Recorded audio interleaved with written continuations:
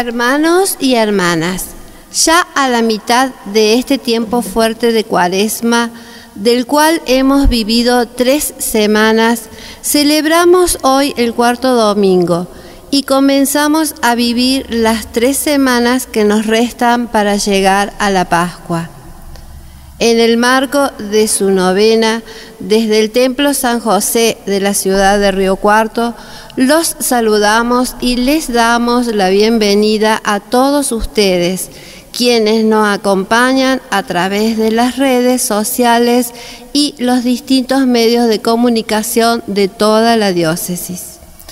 Recibimos a Monseñor Adolfo Uriona y quien presidirá esta Eucaristía acompañado por el padre Raúl Frega cantando.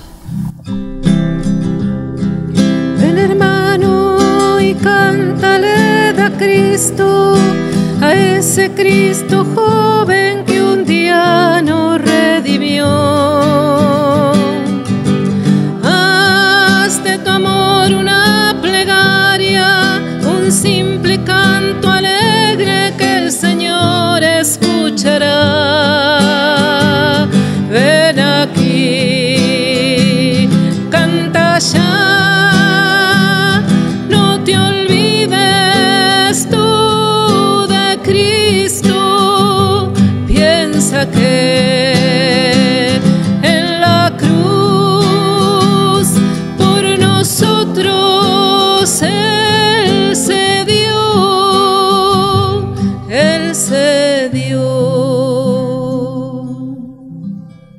En el nombre del Padre, del Hijo y del Espíritu Santo.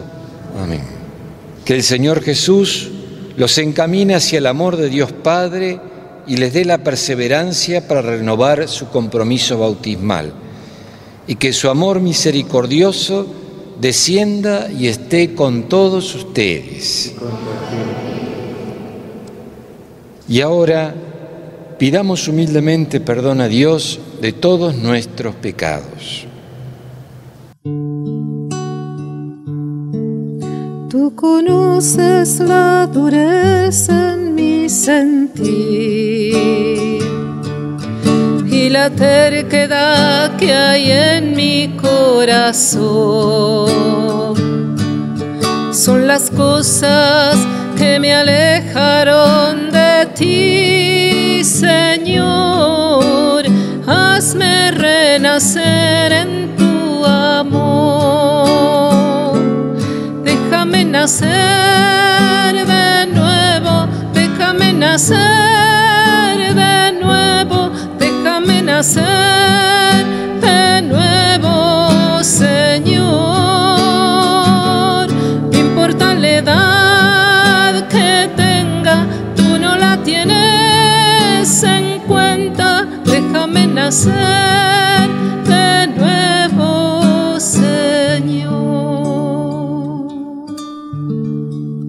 Dios Todopoderoso, tenga misericordia de nosotros, perdone nuestros pecados y nos lleve a la vida eterna.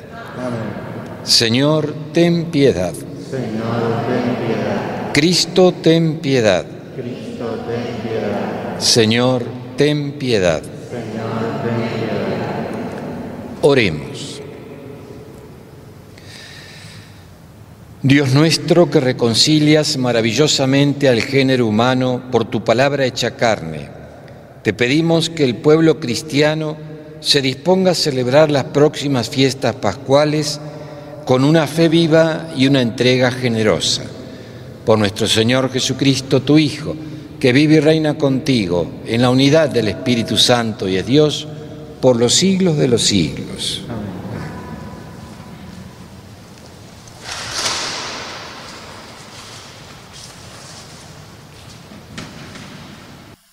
Llegó el momento de escuchar la palabra de Dios, siempre viva y eficaz. Dispongámonos a escucharla con atención.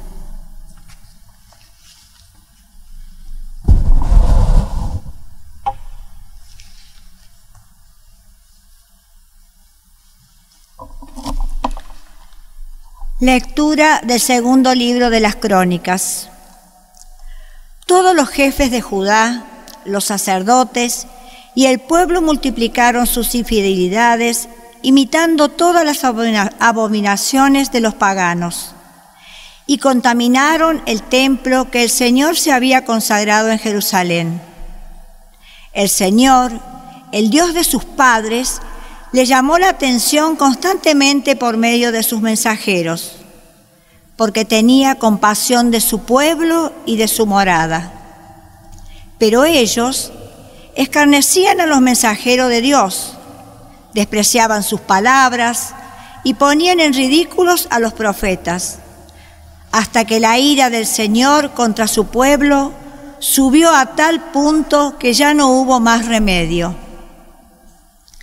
Los caldeos quemaron la casa de Dios, demolieron las murallas de Jerusalén, prendieron fuego a todos sus palacios y destruyeron todos sus objetos preciosos. Nabucodonosor deportó a Babilonia a los que habían escapado de la espada y estos se convirtieron en esclavos del rey y de sus hijos hasta el advenimiento del reino Persia.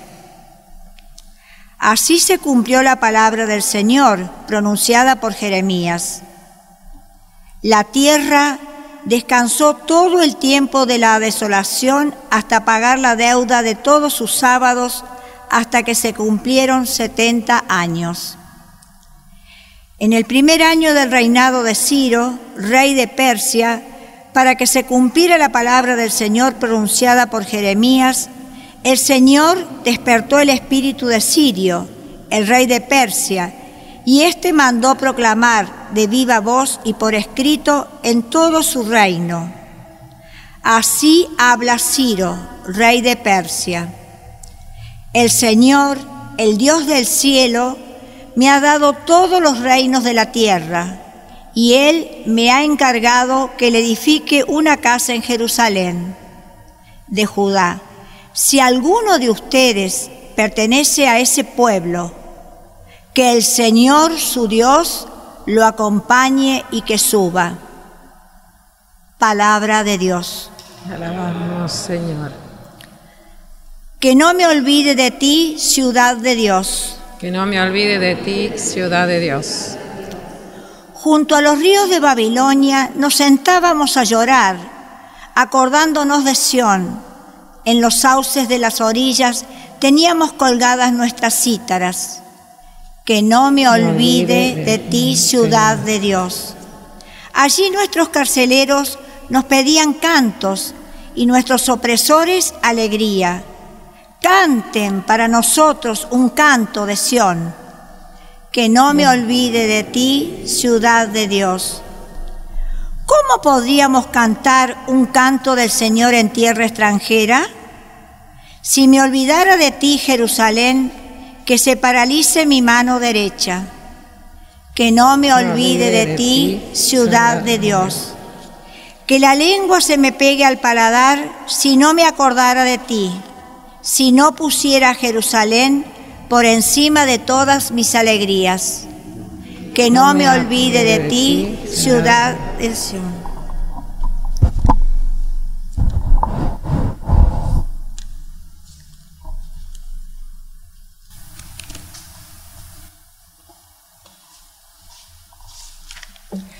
Lectura de la carta del apóstol San Pablo a los cristianos de Éfeso. Hermanos, Dios, que es rico en misericordia por el gran amor con que nos amó, precisamente cuando estábamos muertos a causa de nuestros pecados, nos hizo revivir con Cristo.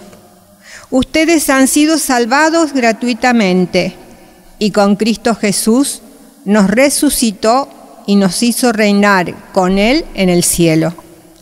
Así Dios ha querido demostrar a los tiempos futuros la inmensa riqueza de su gracia por el amor que nos tiene en Cristo Jesús, porque ustedes han sido salvados por su gracia mediante la fe. Esto no proviene de ustedes, sino que es un don de Dios y no es el resultado de las obras para que nadie se gloríe. Nosotros somos creación suya Fuimos creados en Cristo Jesús a fin de realizar aquellas buenas obras que Dios preparó de antemano para que las practicáramos. Es palabra de Dios. Te alabamos, Señor.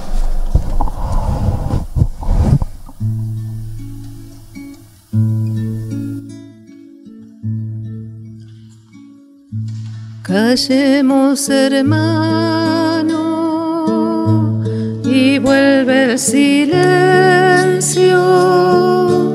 que hemos perdido. Donde escuchar y en este tumulto de nuestras palabras somos incapaces de escuchar a Dios. Callemos hermanos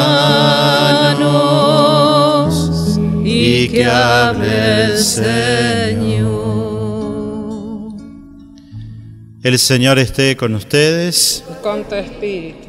Les anuncio la buena noticia de nuestro Señor Jesucristo según San Juan. Dijo Jesús, de la misma manera que Moisés levantó en alto la serpiente en el desierto, también es necesario que el Hijo del Hombre sea levantado en alto, para que todos los que creen en Él tengan vida eterna. Sí, Dios amó tanto al mundo que entregó a su Hijo único para que todo el que cree en Él no muera, sino que tenga vida eterna. Porque Dios no envió a su Hijo para juzgar al mundo, sino para que el mundo se salve por Él. El que cree en Él no es condenado, el que no cree ya está condenado, porque no ha creído en el nombre del Hijo único de Dios. En esto consiste el juicio. La luz vino al mundo y los hombres prefirieron las tinieblas a la luz, porque sus obras eran malas. Todo el que obra mal odia la luz y no se acerca a ella, por temor de que sus obras sean descubiertas. En cambio, el que obra conforme a la verdad se acerca a la luz, para que se ponga de manifiesto que sus obras han sido hechas en Dios. Palabra del Señor.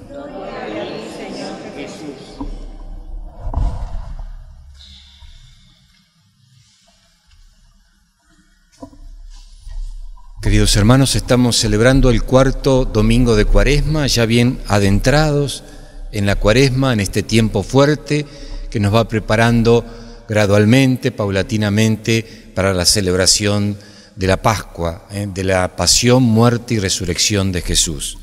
Y también estamos en este momento en, la mitad más o menos de la novena a San José.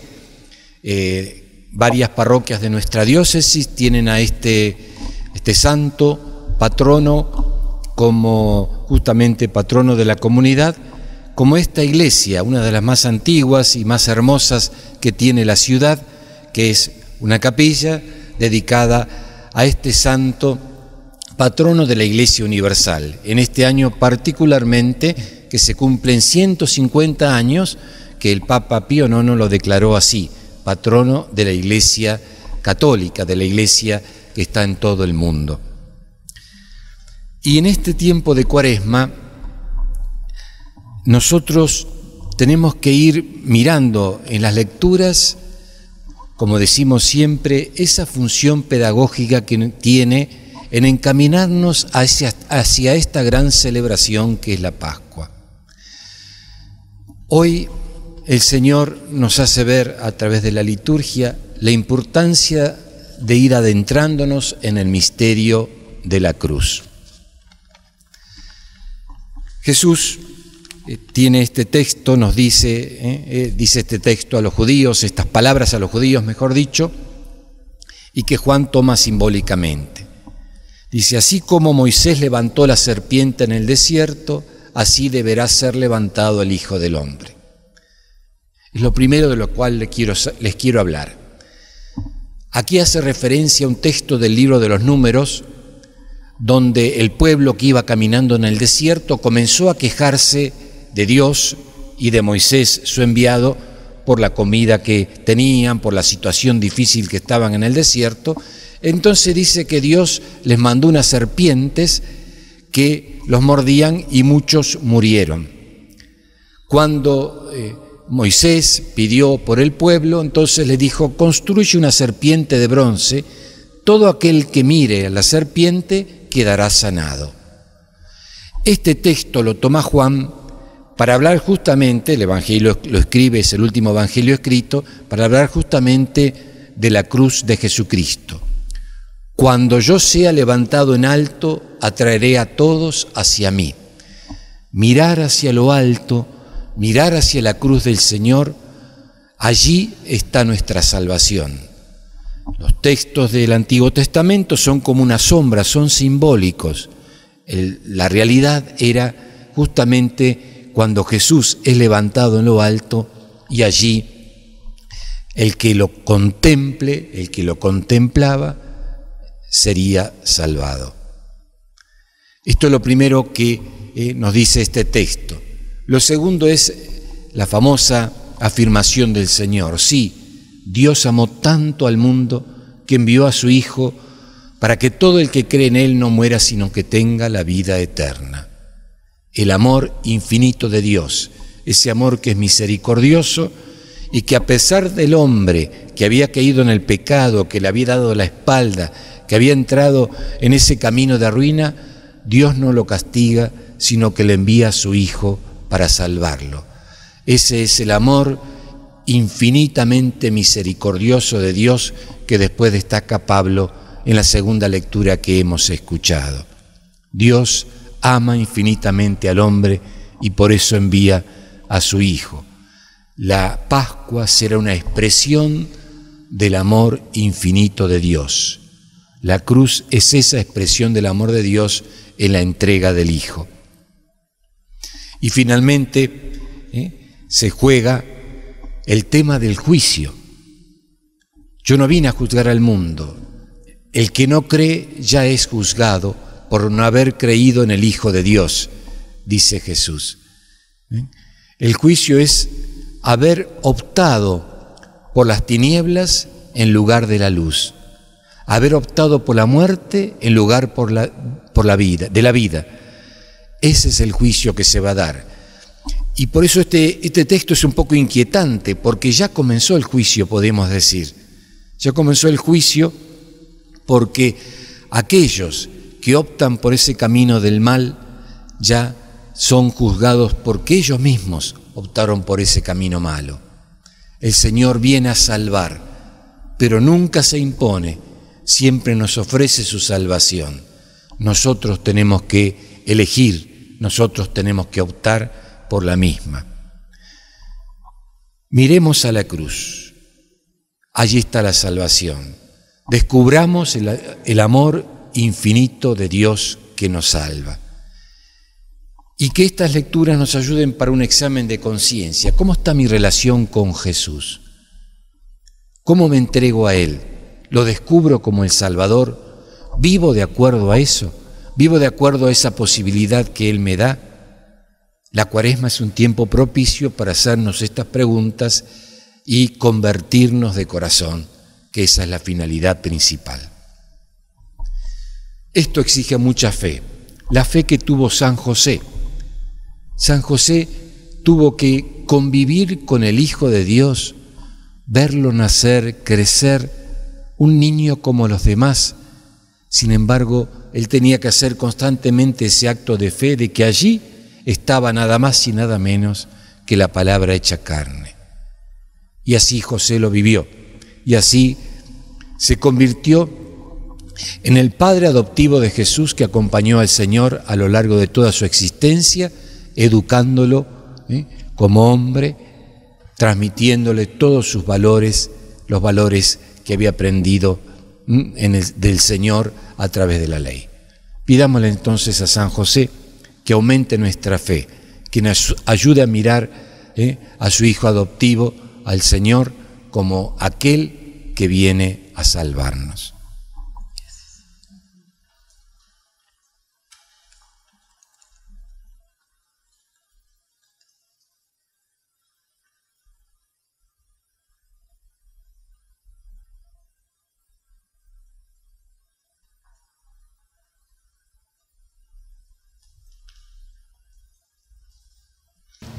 Digamos ahora entonces la oración de la fe. Creo en Dios, Padre Todopoderoso, Creador del cielo y de la tierra. Creo en Jesucristo, su único Hijo, nuestro Señor, que fue concebido por obra y gracia del Espíritu Santo. Nació de Santa María Virgen, padeció bajo el poder de Poncio Pilato, fue crucificado, muerto y sepultado descendió a los infiernos, al tercer día resucitó de entre los muertos, subió a los cielos, está sentado a la derecha de Dios Padre Todopoderoso. Desde allí ha de venir a juzgar a los vivos y a los muertos. Creo en el Espíritu Santo, la Santa Iglesia Católica, la comunión de los santos, el perdón de los pecados, la resurrección de la carne y la vida eterna. Amén. Y ahora juntos como comunidad presentamos a Dios nuestra oración. A cada una de las intenciones responderemos orando. Señor, que contemplemos tu cruz. Señor, que contemplemos tu cruz. Padre, para que por la proclamación de la Iglesia y del Santo Padre vivamos en búsqueda permanente del resucitado y seamos verdaderos hijos de la luz. Oremos, Señor, que contemplemos tu cruz. Para que junto a Monseñor Adolfo y nuestros sacerdotes formemos una comunidad diocesana en la que vivamos este tiempo en el reconocimiento de que Dios nos busca y nos quiere. Oremos, Señor, que contemplemos tu cruz. Padre, te pedimos para que en nuestra patria todos seamos constructores de tu reino, para que todas nuestras familias y nuestra sociedad tenga a tu Hijo por cabeza. Oremos. Contemplemos tu cruz. Padre, queremos que este tiempo sea para toda nuestra comunidad un auténtico morir a nuestros pecados y vivamos verdaderamente la alegría, la esperanza, el amor y el perdón. Oremos. Señor, tenemos tu cruz. Padre Santo, que podamos experimentar tu infinita misericordia manifestada en Cristo Jesús, que se entrega por nosotros a la cruz y nos da la vida nueva a través de su resurrección. A ti que vives y reinas por los siglos de los siglos. Es necesario que junto al pan y el vino nos ofrezcamos nosotros mismos al Padre, pidiéndole que Él nos purifique y así podamos alcanzar la salvación que nos ofrece. A ti al caer de la tarde. Y cansados de nuestra labor, te ofrecemos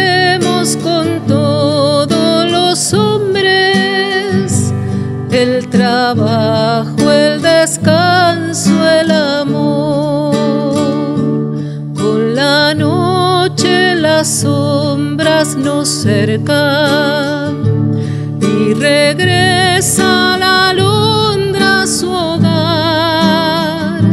Nuestro hogar son tus manos, oh Padre, y tu amor nuestro nido será al fin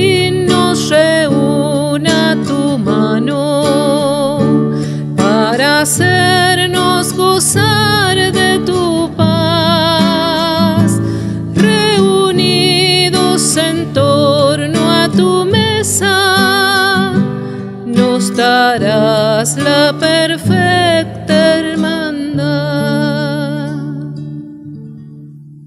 Vamos a orar para que este sacrificio nuestro sea agradable a Dios, Padre Todopoderoso.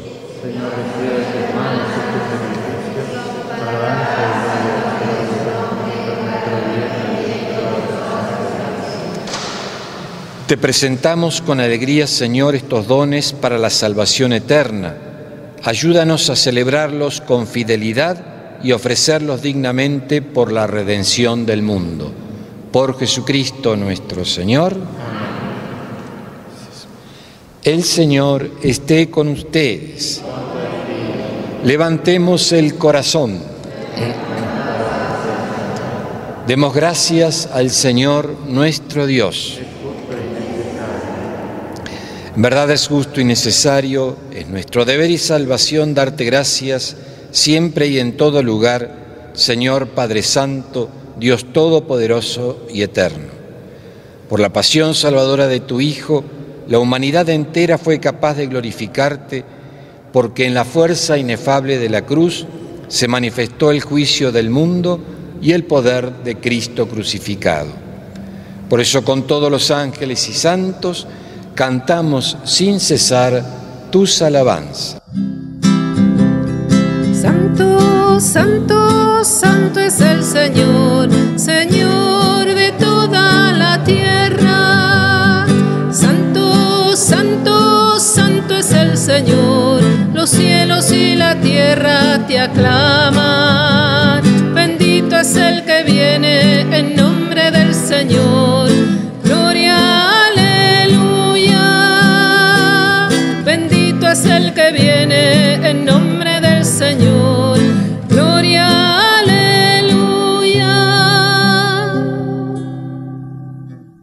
Santo eres en verdad, Señor, fuente de toda santidad. Por eso te pedimos que santifiques estos dones con la efusión de tu Espíritu, de manera que se conviertan para nosotros en el cuerpo y la sangre de Jesucristo nuestro Señor él mismo, cuando iba a ser entregado a su pasión voluntariamente aceptada, tomó pan, dándote gracias, lo partió y lo dio a sus discípulos, diciendo, Tomen y coman todos de él, porque esto es mi cuerpo que será entregado por ustedes.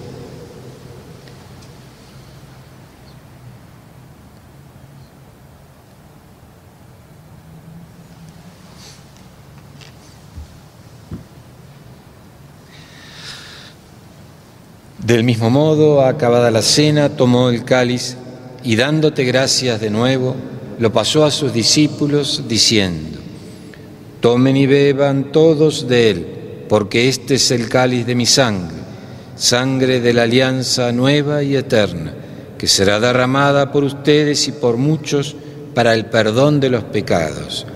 Hagan esto en conmemoración mía.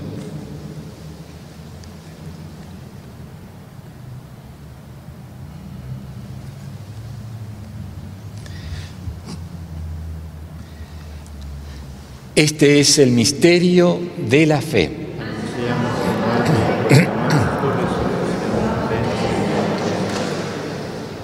Así, Padre, al celebrar ahora el memorial de la muerte y resurrección de tu Hijo, te ofrecemos el pan de vida y el cáliz de salvación y te damos gracias porque nos haces dignos de servirte en tu presencia.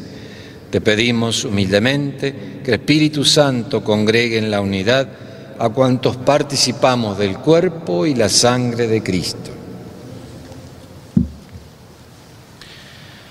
Acuérdate, Señor, de tu iglesia extendida por toda la tierra y con el Papa Francisco, con nuestro obispo Adolfo y todos los pastores que cuidan de tu pueblo, llévala a su perfección por la caridad. Acuérdate también de nuestros hermanos que se durmieron a la esperanza de la resurrección recordamos a nuestros seres queridos fallecidos. Y de todos los que han muerto en tu misericordia, admítelos a contemplar la luz de tu rostro. Ten misericordia de todos nosotros, y así con María, la Virgen, Madre de Dios, San José, su esposo, los apóstoles, San José Gabriel, el Beato Seferino, y cuantos vivieron en tu amistad a través de los tiempos, merezcamos por tu Hijo Jesucristo compartir la vida eterna y cantar tus alabanzas.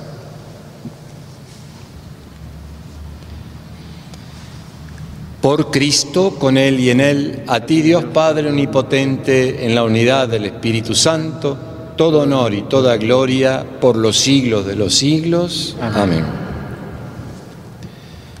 Al Padre que es misericordia, lo invocamos con las palabras de Jesús. Padre nuestro que estás en el cielo, santificado sea tu nombre, venga a nosotros tu reino, hágase tu voluntad en la tierra como en el cielo. Danos hoy nuestro pan de cada día, perdona nuestras ofensas, como también nosotros perdonamos a los que nos ofenden, no nos dejes caer en la tentación y líbranos del mal. Líbranos de todos los males, Señor, y concédenos la paz en nuestros días, para que ayudados por tu misericordia vivamos siempre libres de pecado y protegidos de toda perturbación, mientras esperamos la gloriosa venida de nuestro Salvador Jesucristo.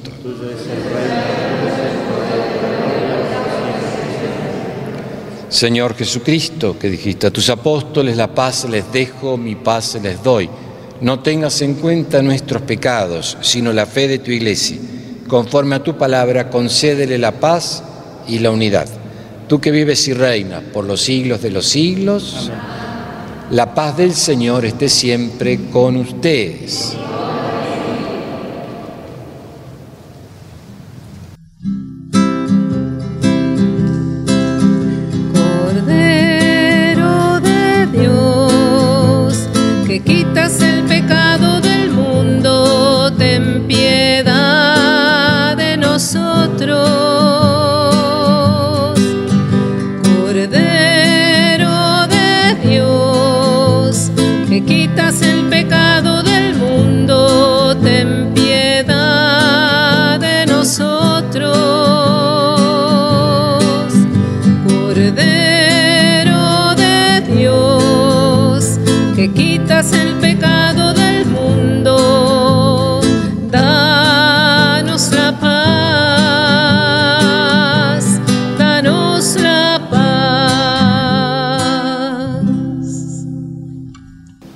Este es el Cordero de Dios que quita el pecado del mundo. Dichosos los invitados a la cena del Señor.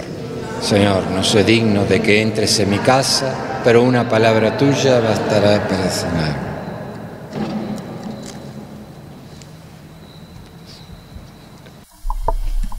Cristo es la luz que vino al mundo y nos dejó el mandato de ser nosotros también luz del mundo. Por ello se quedó en medio nuestro, para alimentar constantemente nuestra llama con su palabra y con este pan de vida. Creo, Jesús mío, que estás realmente presente en el santísimo sacramento del altar. Te amo sobre todas las cosas y deseo ardientemente recibirte dentro de mi alma. Pero no pudiendo hacerlo ahora sacramentalmente, te pido que vengas espiritualmente a mi corazón. Y como si te hubiese recibido, me abrazo y me uno todo a ti. Oh Señor, no permitas que me separe de ti. Amén.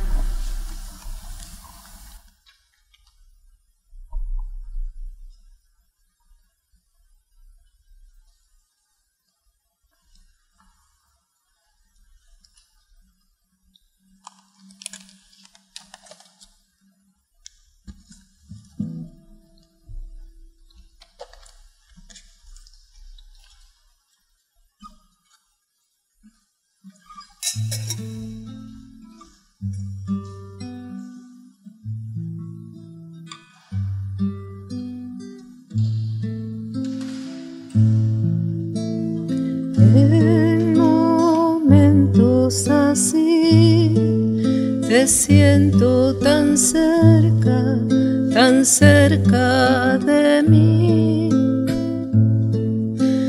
Tu ternura me sana y me acaricia todo cuanto hay en mí.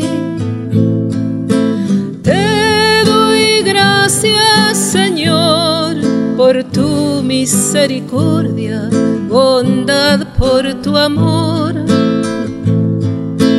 Tú regaste mi vida curas mis heridas, mi buen pastor. Te doy gracias, Señor, por tu misericordia, bondad por tu amor.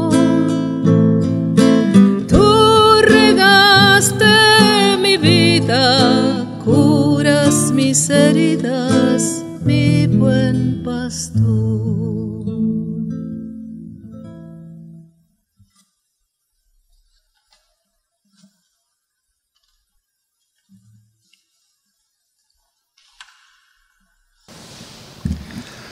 Oremos.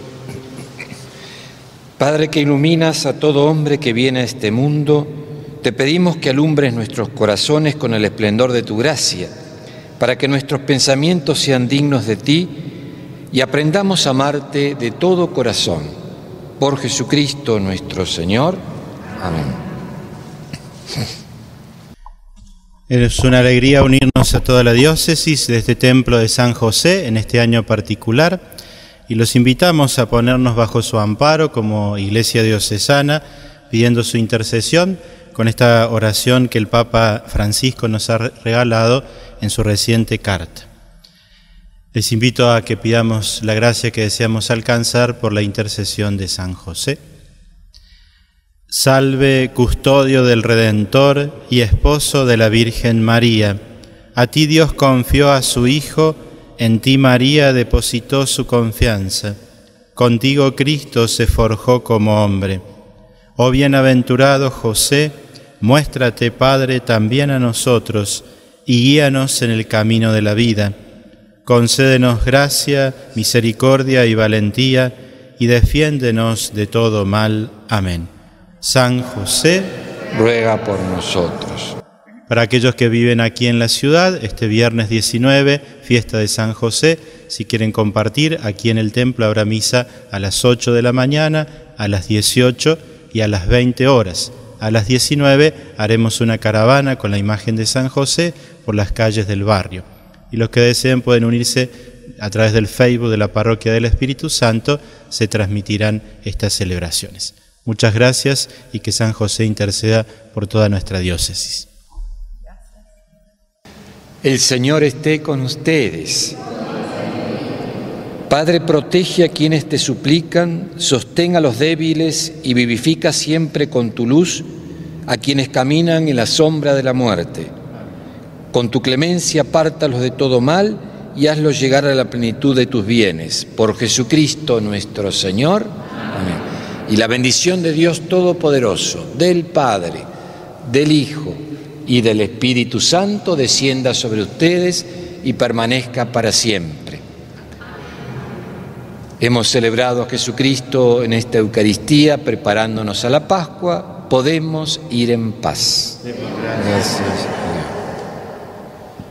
Iluminados y fortalecidos por la Eucaristía, volvamos a nuestros hogares dispuestos a comportarnos como verdaderos hijos de la luz obrando en nuestras vidas con bondad, justicia y verdad.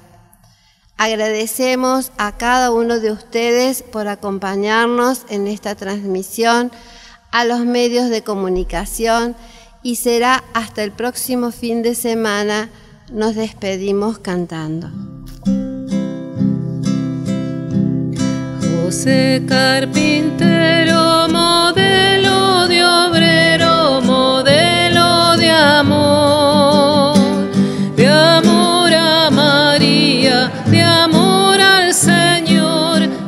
decida tu pueblo y llevar.